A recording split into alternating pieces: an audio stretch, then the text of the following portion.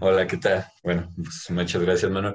Mi nombre es Eduardo Cetina Caballero, mejor conocido como Lalo. Ah, actualmente soy el titular del equipo de montañismo ENA. Eh, soy licenciado en Psicología Educativa por parte de la Universidad Pedagógica Nacional y soy etnólogo en formación en la Escuela Nacional de Antropología e Historia. Eh, bueno, voy a contarles un poco de cómo es mi relación con la montaña y cómo es que llego a ser actualmente el el titular en este bello equipo. Eh, primeramente, mi tiempo de práctica al montañismo deportiva como tal, eh, llevo unos seis años aproximadamente practicándolo y lo inicié justamente en la escuela, en este equipo. Eh, pero sin embargo, mi relación con la montaña es un poco más añeja. Mi familia proviene, por un lado, de las faldas del Nevado de Toluca y por otra parte de lo que es la Sierra Negra de Puebla. Entonces, bueno, de alguna manera verme involucrado en mis orígenes con la montaña, créanme que cambia mi perspectiva de cómo ver el montañismo, tanto deportivo como históricamente y antropológicamente, como lo vamos a ir viendo en el desarrollo de este curso. ¿Ok? Eh, quisiera también, después de esta breve presentación personal, comentarles de qué se trata este equipo. El equipo de montañismo ENA ya es un equipo de larga duración, cuenta aproximadamente con 15 años de historia. Eh, lo que este curso va dirigido a toda la comunidad, estudiantes, profesores y ahora de manera virtual a cualquier persona que se quiera acercar, estaremos dando consejos y utilidades que les van a ser de mucha ayuda para la práctica del montañismo y creo que en general para cualquier actividad deportiva. Eh, bueno, este curso se divide en un año. Eh, vamos a ver el, el primer semestre, le llamamos el curso básico, es decir, donde vamos a hacer unas salidas a lo que se le conoce como media montaña y nos vamos a ir aclimatando hacia la altura y en este proceso de salidas eh, nos vamos a ir introduciendo al equipo que tenemos que manejar, eh, técnicas de caminata, inclusive de respiración. Vamos a ir viendo relaciones eh, de cómo se relaciona el hombre y la montaña, proporcionamos lecturas. Eh, en el segundo curso, que le llamamos el de alta montaña o avanzado, empezamos a hacer caminatas a partir de los 4.500 metros de altura. Eh, nosotros tratamos de comprender todo el eje neovolcánico transversal aquí en México, que va, digamos, de nosotros hacemos salidas desde el Nevado de Toluca hasta el pico de Orizaba. En este, en, estas, en este año que tenemos, les vamos a proporcionar una lista de material.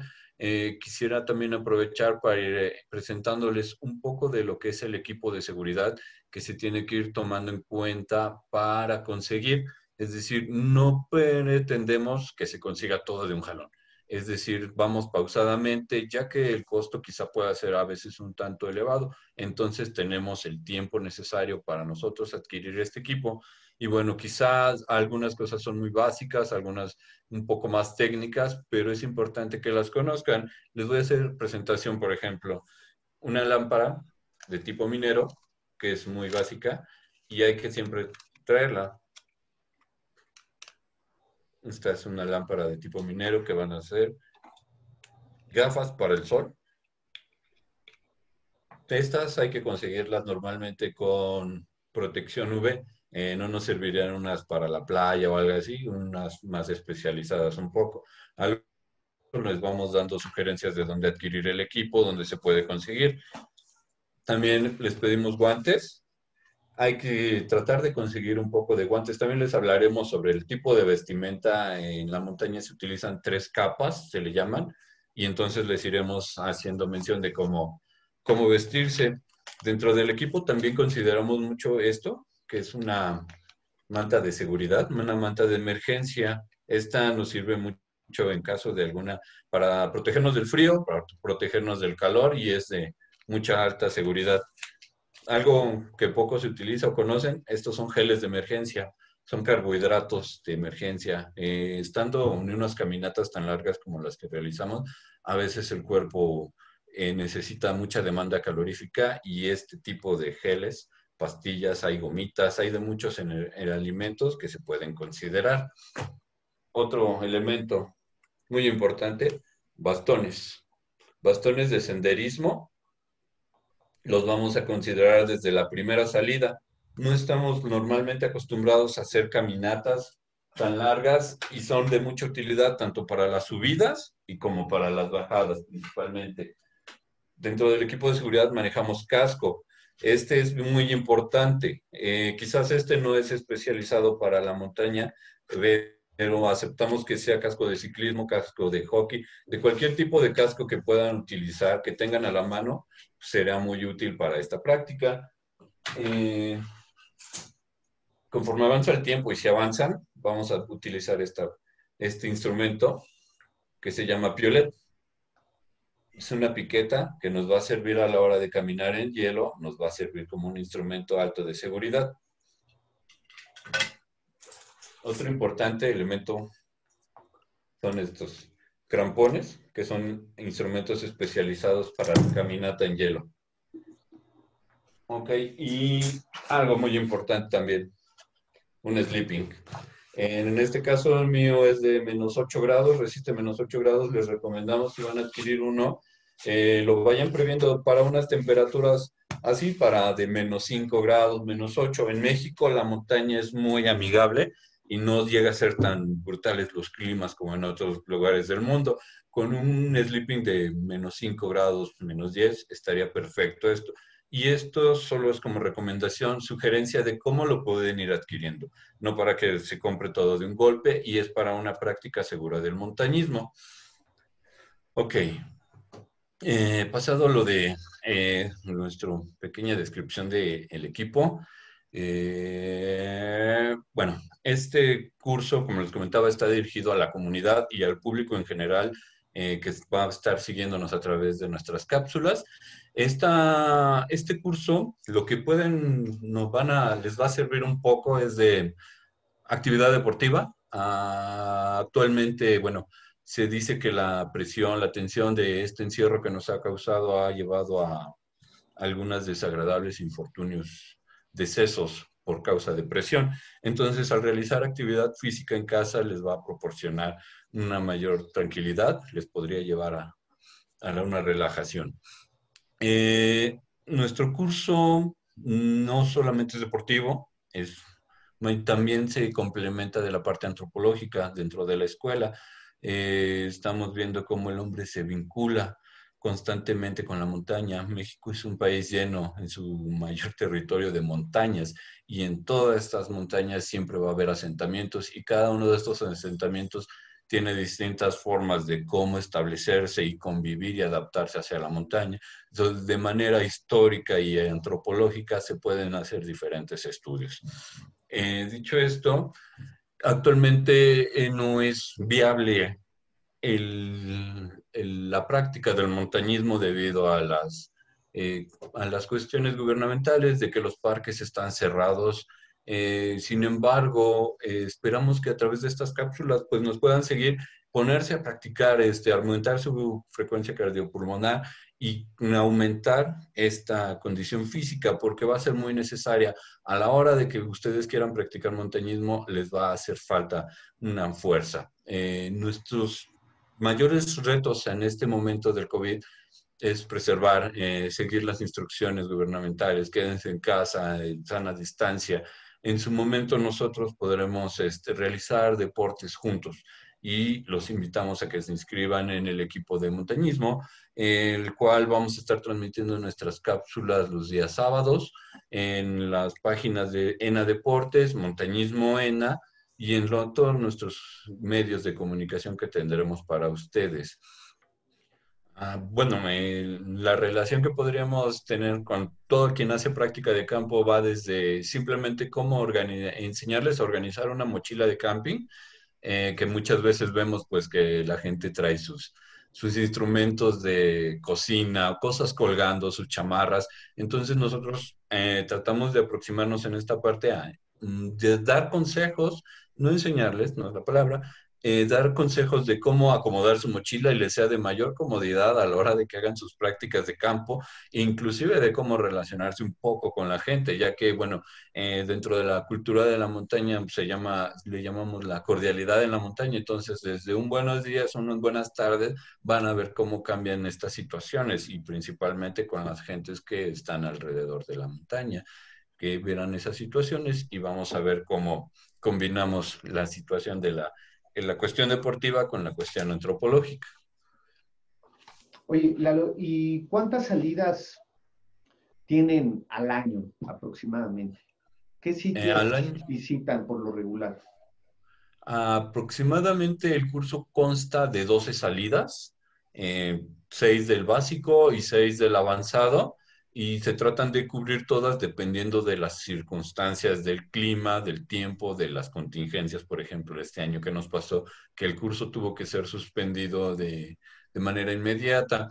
Eh, se propone normalmente un calendario. Eh, partimos, digamos, de la parte más baja de nuestro curso, que es el Cerro de San Miguel en la delegación Magdalena Contreras, hasta el tercer portillo, de lo que es el Iztaccíhuatl. Ese es nuestro curso básico. Posteriormente, eh, avanzamos hacia, para el curso avanzado, hacemos eh, principalmente el Iztaccíhuatl, Sierra Negra y el Pico de Orizaba, si es posible y factible que se nos permita asistir. Eh, son campamentos principalmente en estas salidas de alta montaña y caminatas ya en una elevación a, a los 4.500 metros, 5.000 metros de altura. ¿Qué requisitos requieren para estar eh, con ustedes en el taller, para acompañarlos en el curso? Ah, bueno, principalmente disposición, disponibilidad de su parte. Previo al inicio del curso realizamos algo que se llama prueba de resistencia. Eh, consiste en donde el alumno, el participante, recorre durante 13 minutos a su ritmo, caminando, corriendo, trotando, como sea, eh, se mide su distancia. En función de ello les damos recomendaciones eh, de cómo está su condición física y les damos recomendaciones para mejorarse en este caso o mantenerse o qué podrían hacer. No, no, este, no discriminamos de ninguna forma, eh, pero sí les recomendamos siempre mantenerse en activación física. Eh, practicar cualquier eh, deporte. En la escuela misma se ofrecen más talleres deportivos, los cuales si los practican y los complementan, les va a ser mucho, de mucha utilidad para practicar el montañismo y en su vida personal. Entonces los invitamos a que practiquen en la semana en la escuela algún taller y con nosotros los fines de semana el montañismo. Para mí, ¿qué significa? Eh, es un reto. Al inicio fue un reto personal contra mí, gracias al montañismo de Fede Fumar porque, bueno, cuando entras ves a los compañeros que ya están avanzados y quieres ir a su paso. No los alcanzas simplemente. pareciera imposible alcanzarlos. Con el tiempo logré alcanzarlos y actualmente estar al frente del equipo. Eh, estar en una montaña te cambia la perspectiva, desarrolla una sensibilidad, una sensibilidad increíble. Estar es encontrarse uno mismo a veces, buscar dentro de estas caminatas un espacio de soledad, contemplar la soledad, la nada, la inmensidad de este mundo, la pequeñez que somos como organismos. Es un reto, es, es, una, es una forma de vida, como todos dicen, es una cuestión que si uno se propone lograr llegar a ser una cima, cuando lo logran, van a, van a cambiar su perspectiva, estar en cualquier cima y ver todo lo que ven, digamos, normalmente de abajo hacia arriba y ahora cambiar la perspectiva, como dicen, verlo todo de arriba hacia abajo, les va a cambiar mucho su forma de conocimiento.